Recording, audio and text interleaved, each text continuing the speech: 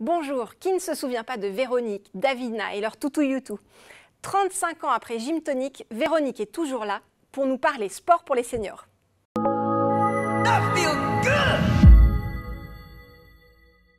Bonjour Véronique. Bonjour Christelle. Vous venez nous expliquer qu'on n'a définitivement pas d'excuses. Hein euh, c'est pas parce qu'on prend un petit peu d'âge qu'on ne doit pas faire de sport. Hein. Ben non, au contraire.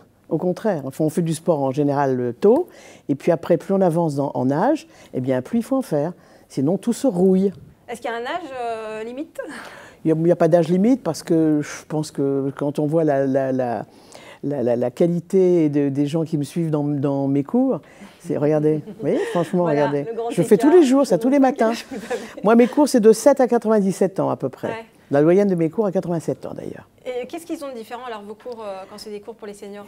C'est-à-dire qu'il y a deux choses. Je fais des cours qui sont, c'est moi qui adapte mon cours en fonction de la population qui est devant moi. Si j'ai des personnes très jeunes euh, qui sortent du lycée ou de la fac, à ce moment-là, tac tac, je change de musique.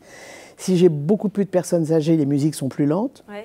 J'adapte mes mouvements justement en fonction de ce que les gens vont être capables de faire. Alors ça, c'est au cercle de la forme où je fais mes cours tous les jours et je jongle d'un club à l'autre. En revanche, j'ai une nouvelle discipline. Je travaille beaucoup auprès des seniors, mais les grands seniors, c'est-à-dire auprès des résidences services seniors, en l'occurrence Beau Soleil.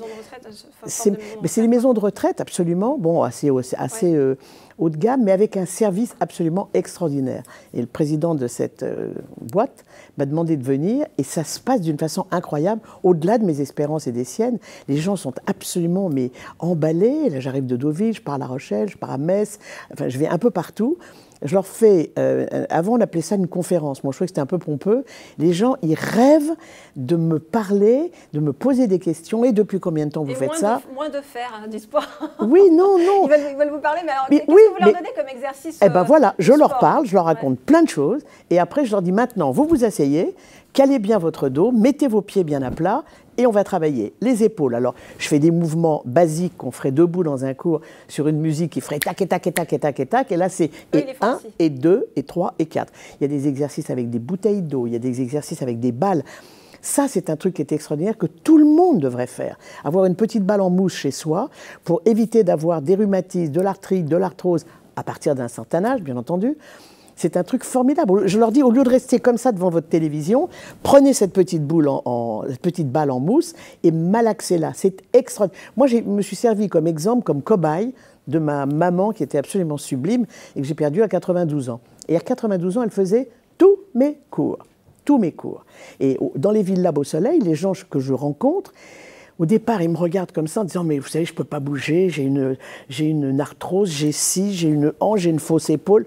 Je leur dis rien du tout. Asseyez-vous, faites-moi confiance. En fait, j'essaie d'abord de leur donner, de leur donner de la crédibilité. C'est-à-dire que j'ai 37 ans d'expérience, euh, un peu de diplôme, pour pas dire beaucoup, et en plus, je m'occupe de la Fondation pour la recherche sur la maladie d'Alzheimer.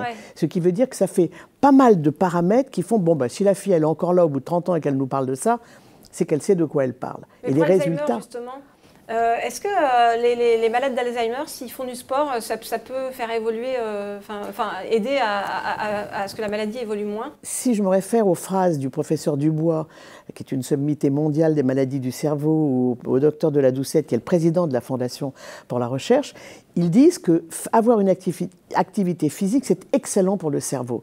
Alors ils disent pas ça va vous guérir, mm. mais ça peut freiner l'entrée dans cette maladie, qui est un, véritable fléau. Donc si on peut s'aider en faisant des mots croisés, des... il y a plein d'astuces, plein. J'en donne dans mes cours, j'en donne dans mon tour de France, dans ces euh, villas euh, services seniors, parce que c'est important. Moi, ma mère, je, faisais, je lui disais, mets-toi à ta fenêtre, maman, je m'en vais deux heures. J'avais la chance d'habiter le même immeuble qu'elle.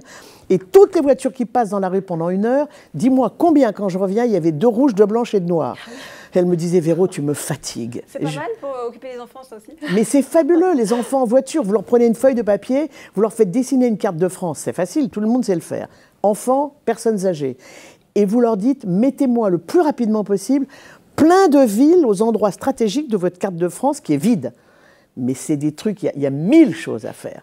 bouger intelligemment, trouver quelqu'un qui va vous donner l'envie d'avoir envie, que cette fameuse chanson de Johnny Hallyday, parce que c'est ça l'idée, c'est aller dans un club. À l'extérieur et à l'intérieur. Bien sûr, bien sûr. Travailler son équilibre à partir d'un certain âge, c'est vachement important. Travailler ses articulations, la position de son dos, la souplesse, monter des escaliers, euh, se tenir au dos d'une chaise pour travailler l'équilibre. Tout ça, j'ai fait un petit manuel d'ailleurs récemment avec les Villas Beau Soleil et tout est expliqué dedans.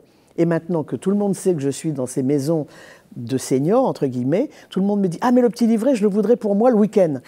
Donc, mais non, mais c'est parce que c'est important. Et c'est des choses d'une simplicité absolue qui coûtent rien du tout à faire, juste d'écouter des gens qui ont un peu de crédibilité, ce qui, j'espère, est mon cas. Sinon, je ne vous aurais pas invité? oui, Christelle, on se connaît bien, nous, quand même. On a fait plein de, plein de choses. J'étais ravie qu'on m'ait demandé de venir.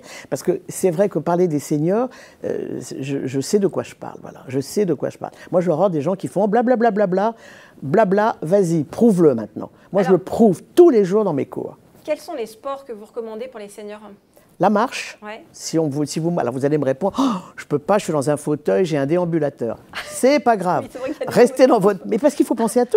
Restez dans votre fauteuil et actionnez vos jambes, actionnez vos jambes et vos cuisses avec une bonne position du dos. La natation, la natation, c'est un truc fabuleux, fabuleux. Tous les mouvements qu'on fait dans un cours, on peut les refaire dans une piscine avec un cours d'aquagym, mais on peut le faire seul. On se tient au rebord, on fait travailler ses jambes, les fessiers, le bas du ventre, les bras, les pectoraux pour les garçons, la poitrine pour les femmes. Il y a un milliard de trucs à faire. Je peux vous en parler comme ça pendant dix ans. D'ailleurs, j'ai vu qu'il y avait un article qui était sorti sur moi récemment en disant elle donnera des cours jusqu'à 100 ans. Mais oui, mais, oui, mais oui, oui, oui, oui, vous m'avez. grand écart jusqu'à 100 ans. Bien sûr, je fais le grand écart tous les matins dans mes cours. tous les matins, quand vous vous réveillez, c'est ça le, Non, pas en me réveillant, parce que ce serait pas bon. Mais dans les cours, quand on a fait l'échauffement, avec des retirés de jambes, qui est très bon pour le dessous des fesses et le bas du ventre et l'arrière des bras, vous retirez votre jambe, pointez flex, pointez flex, bonne tenue du dos. Après, vous prenez les deux, vous tenez votre équilibre, vous les posez et vous partez avec la tête bien dans l'alignement du dos, sans un coup pour le dos. Enfin, Venez prendre un cours avec moi, Christelle, finalement. Je vais, essayer le matin. Moi, je vous attends, je vais vous guetter là maintenant. bon, en attendant de transpirer ensemble, merci beaucoup. Merci, c'était très euh, sympathique. De, nous apprendre un petit peu euh, comment les, seniors peuvent euh, avancer mieux, en fait, et puis surtout se redonner de l'énergie, c'est ça hein. C'est très important de vous, vous, leur donner cet espace, justement, de temps. C'est important qu'ils sachent qu'il y a beaucoup de choses à faire pour travailler leur corps et leur tête. Merci, à très vite pour une prochaine émission.